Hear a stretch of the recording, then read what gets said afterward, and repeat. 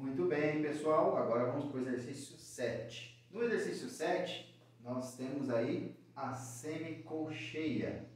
Tá? A semicolcheia a gente já sabe que é a nota mais curta ainda. Então a gente vai usar menos arco ainda, tudo mais no meio.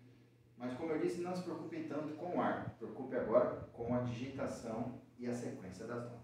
Atenção nas pausas de dois tempos que nós temos aí. Então esses retângulos que tem aí são pausas de dois tempos. A não ser no compasso 9 ali, que tem uma pausa sozinha, tá? É uma pausa de quatro tempos. Beleza? Vamos lá então. então letra A, começando aí no exercício 7. 1, 2, 3,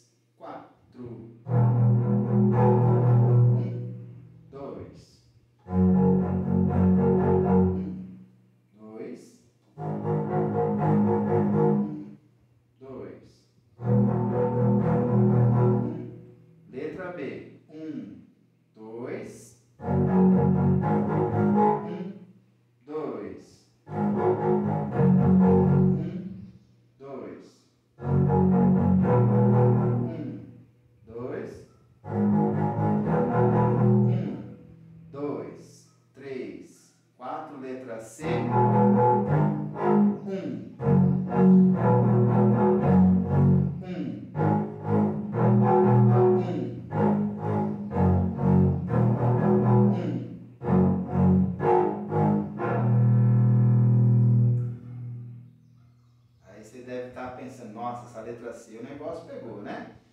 Exatamente aí que entra sempre aquilo que eu oriento. Solfeja antes, toca depois. Então nessa letra C tem essa pausinha de um tempo que dá essa quebrada no ritmo, tá? Que você deve ficar atento. Então fica ali, ó, mi, mi, mi, mi, sol, sol, pausa, fá, fá, mi, mi, mi, mi, fá, fá, pausa, sol, sol, mi, mi, mi, mi, pausa, fá, fá.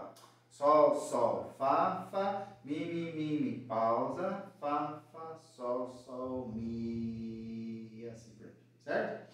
Dá um mi longo ali no final.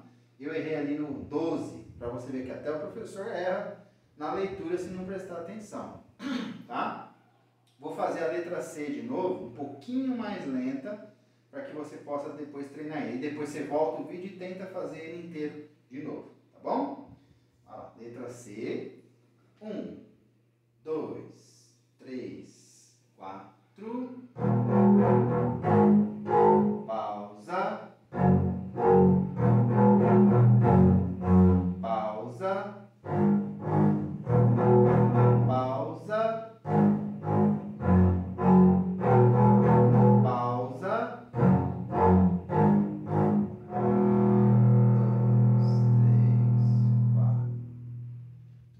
pedacinho que eu fiz, volta, solfeja junto, toca junto várias vezes, pegou, volta lá no vídeo e faz o exercício inteiro, tá? até que consiga fazer a digitação tudo certinho no tempo exato, tá bom?